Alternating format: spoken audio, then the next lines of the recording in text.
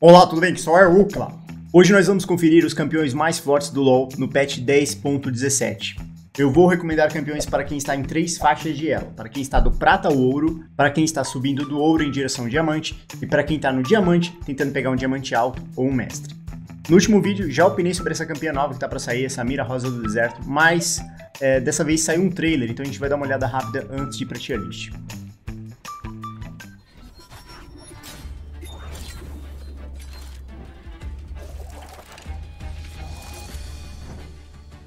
Cara, ficou muito animal esse começo, hein? Ficou incrível.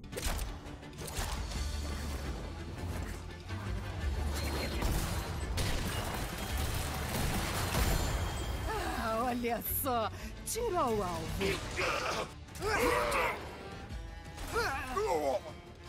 Eu cuido disso.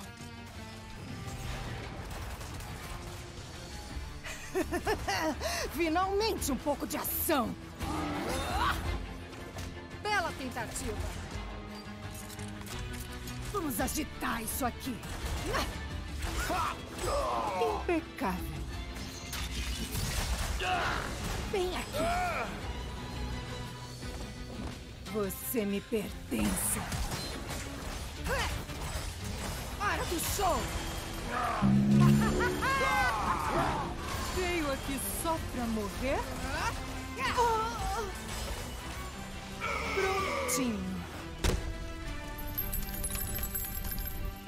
Aí a mina literalmente cagou umas balas, né?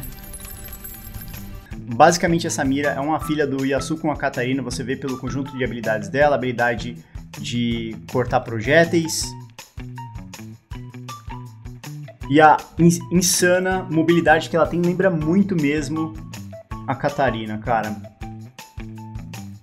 Então, isso me preocupa um pouco, porque a Catarina é uma campeã que não tem muito espaço para counterplay, é, porque as animações são não existentes, quando ela pula é imediato. Agora, no caso da Samir, eu acho que a Wright ela já se ligou, né, que isso é um problema. Então, o que, que ela fez? Ó, tem um dash, tem uma animação de dash, ela vai dar um pulo no Azir, eu acho, foi na Civir. Então tem um dash aí no meio, tá? Não tá teleportando. Então isso é bom e telegrafa um pouquinho a execução das habilidades.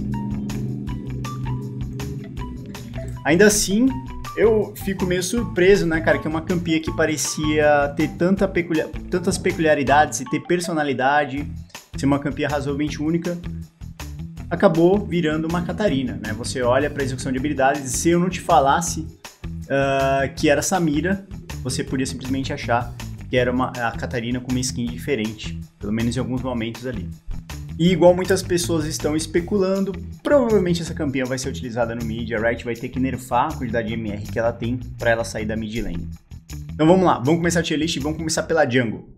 O Amumu é o campeão que eu recomendo para quem está no prata, principalmente, tá? Tentando pegar um ouro. Conforme você entra no ouro, ele fica um pouco menos interessante. Aí os caras que estão na sequência começam a ficar mais ideais. É o caso do Ramos. O Ramos é campeão que vem desempenhando muito bem no prata, desempenhando muito bem no ouro, e conforme você vai subindo, ele continua razoavelmente bem.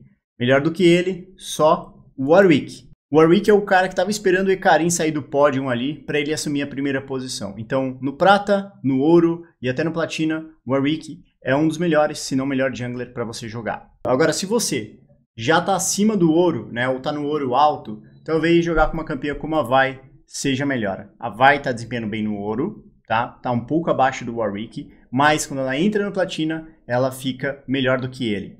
Chegando no diamante, cara. Algumas pessoas estão empacadas no diamante baixo. E agora esses campeões aqui são para você. O Rengar, recomendo sempre, cara. Já tem muitas tier lists. Ele é um cara fenomenal para você pegar o diamante 1, diamante 2 e até para entrar no mestre, tá? Junto com ele a gente tem o Cartus, que a Riot fez o favor de buffar recentemente.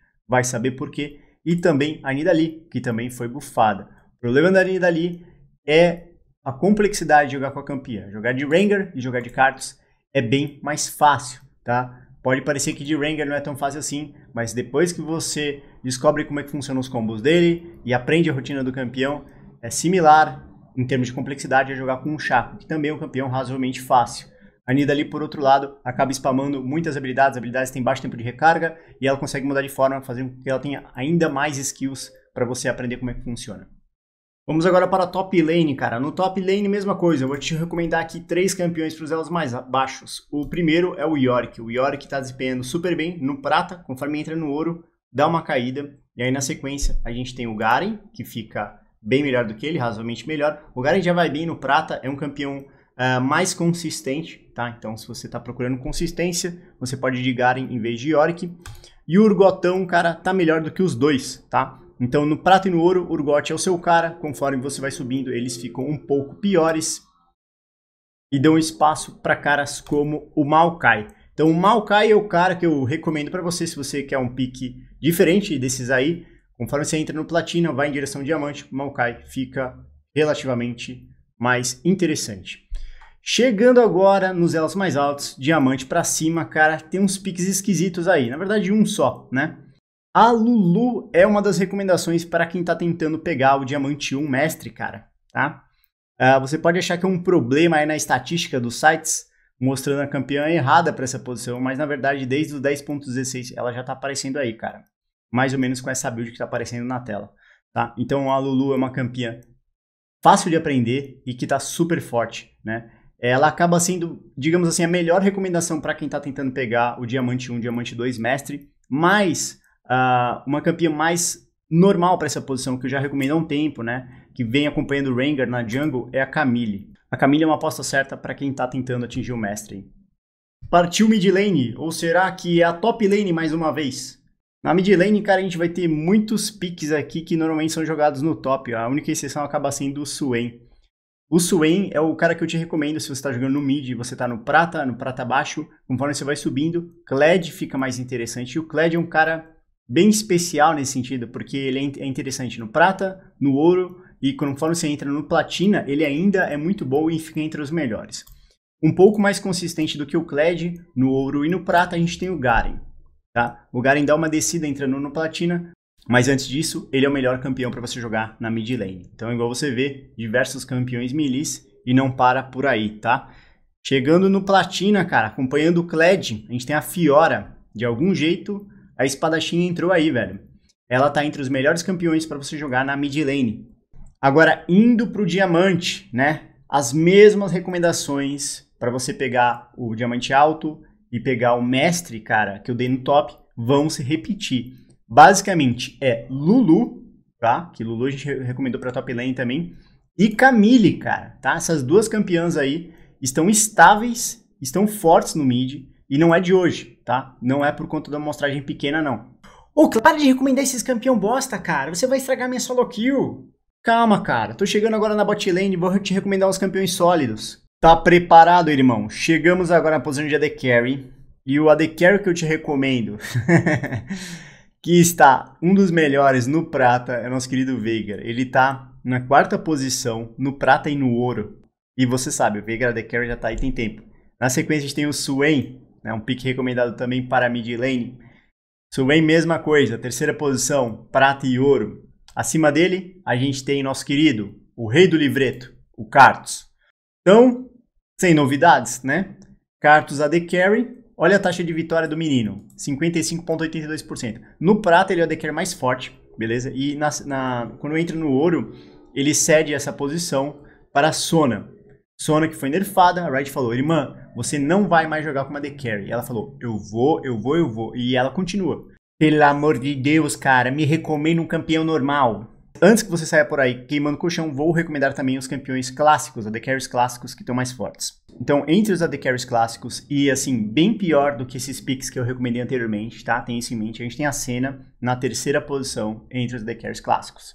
Na sequência, a gente tem o Jin, e na primeira posição a gente tem a Ashe, que continua forte por conta da mudança que fizeram anteriormente em aproximação de velocidade, já que agora ela tem esse bônus aí o tempo todo, desde que ela esteja batendo em algum campeão inimigo. Chegando no Platina, as coisas não mudam. Os melhores campeões do prata e do ouro na posição de AD Carry continuam, que basicamente é Sona e Kartos, sendo que a Sona ganha ainda mais vantagem na frente do Kartos. Isso tende a mudar quando a gente chega no diamante alto, já que a Sona é uma campeã razoavelmente frágil e as pessoas conseguem aproveitar essa fragilidade para matar ela e por isso que ela começa a ganhar menos jogos. Então, se você está tentando pegar o diamante alto, está tentando pegar o mestre, o bonecão que assume a posição de melhor AD Carry é o Kartos. É basicamente a Sona, é a mesma coisa, é frágil, só que se ele morre, ele continua vivo e te mata. Agora, acompanhando o Cartus, não de perto, razoavelmente de longe, tá vendo com binóculo, a gente tem a Ashe. Então a Ashe tá forte também, mas bem mais fraca que o Cartus. Ukla, você acabou com o meu sonho, Ukla. Eu queria ser o AD Carry, o cara do filme, do John Wick, entendeu? Só que no League of Legends. Irmão, a, a meta está assim, né? O que eu posso fazer? Vamos agora para a melhor posição do League of Legends. A posição a posição de suporte. E aqui vou recomendar, já que é a melhor posição, quatro campeões, certo? Para quem está nos elos mais baixos. O primeiro deles, o cara que está com a maior taxa de vitória no prata, é o Swain. Então, Swain Zord, super interessante, super legal de jogar. Se você está jogando sup barra mid, né? Você está em boas mãos, já que ele é um flex para as duas posições e está forte nas duas. Abaixo dele a gente tem o Brand, que é um outro mago é, que dá mais dano do que o Swain. O Swain tem um pouco de CC, né, cara? Então é um pouco diferente. Mais simples do que o Swain. E agora entrando melhor do que os dois no ouro, a gente tem a Jana e a gente tem a Soraka. Então essas são as duas campeãs que eu recomendo se você tá no ouro, indo pro platina, ou se já tá no platina. Entrando no platina, tem uma campeã que começa a ficar forte. A nossa querida Lux, né? A Lux, que ficou conhecida por conta do combo da Lux mais Sona, né? Uma, onde uma é de AD Carry e outra de suporte, ou vice-versa. Tá forte no platina, tá razoavelmente forte no diamante também, diamante baixo ali, ela tá forte. Agora vamos para o elo, e eu vou te recomendar uma campeã que eu já te recomendei duas vezes nesse vídeo. Então talvez podemos dizer que ela é a campeã do patch, que é a Lulu, tá? A Lulu para o diamante alto, para o mestre, é uma das melhores campeãs para a posição de suporte, assim como é o caso no mid, assim como é o caso no top, para essa mesma campeã aí. Agora, melhor do que ela, só ele, o nosso queridão Bardo, que apesar dos nerfs continua firme e forte. Então, o Bardo, o problema dele comparado com a Lulu, é que ele é bem mais complexo, dá muito espaço para você matar o seu time e ser deletado da sua lista de amigos aí por muitos amigos. E é isso, esses são os campeões mais fortes do patch 10.17. O 10.18 tá logo aí na esquina, mas ainda assim é bom você saber quem eram os mais fortes no 10.17, porque mesmo porque muitos deles vão continuar sendo os mais fortes no patch seguinte. É isso, espero que tenham gostado desse vídeo. Se gostou, considere deixar o seu like, inscreva-se no canal. No mais, muito obrigado, um beijo na sua bunda. É tchau!